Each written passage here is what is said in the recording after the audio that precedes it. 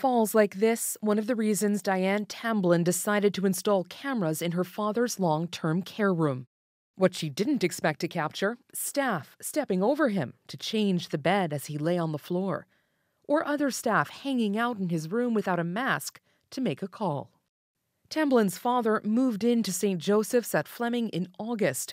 From the start, there were issues. I would mention them and they would either try to do something to make it better, but then it would slip back off the radar again. But when Omicron hit, she caught staff wearing masks poorly or not at all and complained to the ministry. It was not unusual to, to see three, four, five people a day not wearing masks in the home, even during outbreak. After that, the care home sent her this letter telling her she was under investigation for harassing staff and told her it was limiting her access to the home.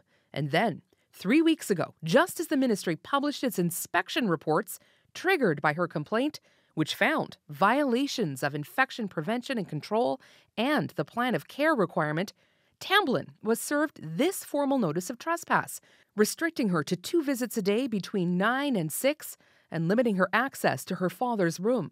The penalty, a $2,000 fine.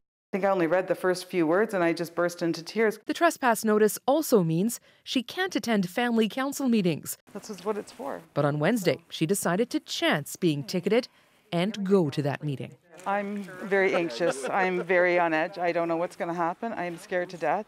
But I also know that if I don't do this, nothing's going to get better for my dad or the residents in there. I don't have any choices left. This is this is it. Starvation. Outside, advocates who fought to pass Vula's law, which is supposed to prevent homes from barring access to families. Thank you very much, Dan. Thank you. Thank Two you hours later, much. no police, no ticket. A small victory for advocates. You're worth it. I get a hug. Oh.